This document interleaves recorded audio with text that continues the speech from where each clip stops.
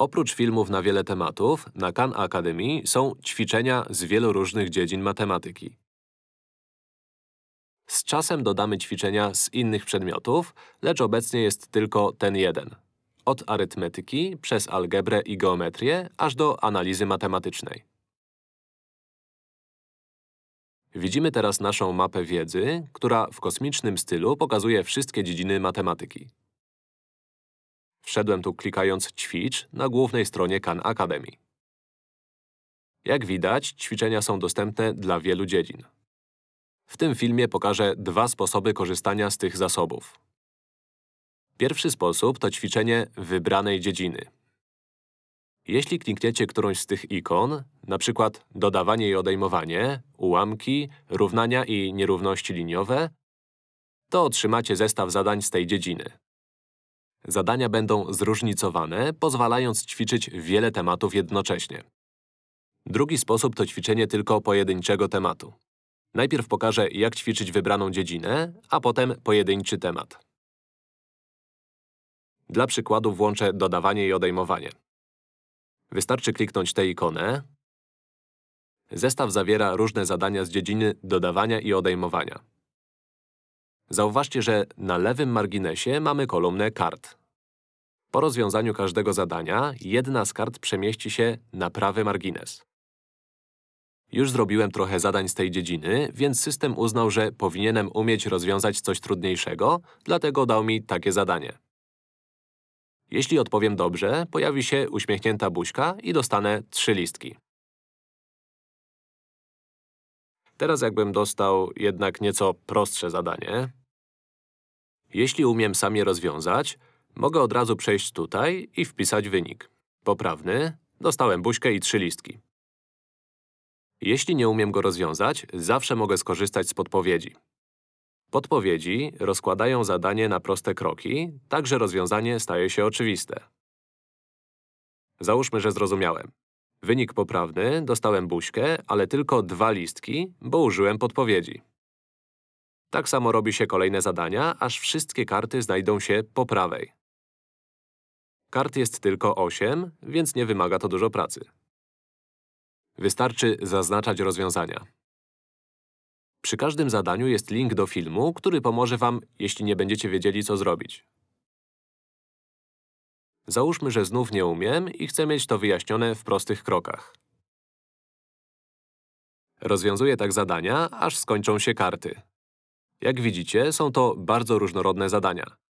Nie jeden rodzaj dodawania i odejmowania, lecz wiele naraz. Jeśli jestem zalogowany, system zapisuje moje postępy i mogę obejrzeć statystyki. Jak widać, robiłem już ćwiczenia z kilku różnych tematów. Jeśli nie mam dosyć, mogę zrobić kolejny zestaw różnorodnych zadań albo poćwiczyć tylko jeden temat. Załóżmy, że chcę teraz poćwiczyć dodawanie cyfr. Klikam tutaj i włącza się zestaw ćwiczeń tylko z tego tematu. Widać, że kolejne zadania dotyczą wyłącznie dodawania cyfr. Tu także, jeśli nie jestem pewien, mogę poprosić o podpowiedź. Mogę też obejrzeć film. Również tutaj są karty przelatujące na drugą stronę, ale tym razem otrzymuję wciąż ten sam typ zadań do rozwiązania.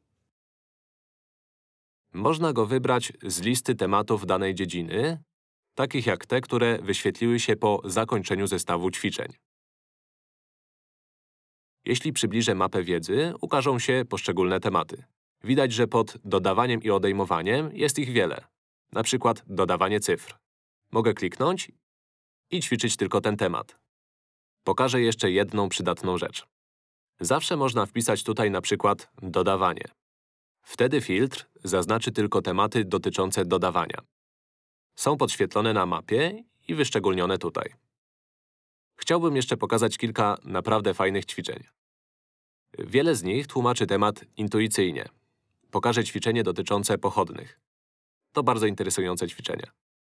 Jego celem jest wyjaśnienie w intuicyjny sposób, czym jest pochodna funkcji.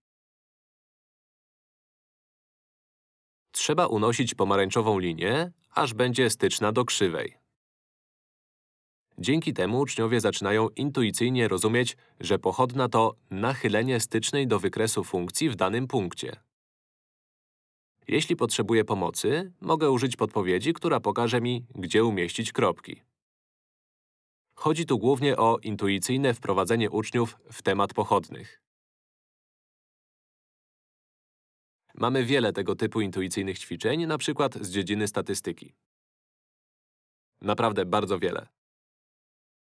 Wystarczy wpisać tu zagadnienie, aby zobaczyć, czym dysponujemy. Na koniec pokażę odchylenie standardowe. Należy przesuwać kropki i patrzeć, jak zmienia się odchylenie standardowe oraz średnia. Można sprawdzić, co się dzieje, gdy rozrzut jest szeroki, albo gdy zgromadzimy wszystkie kropki blisko środka. Takie ćwiczenie dobrze uczy intuicyjnego czucia tematu.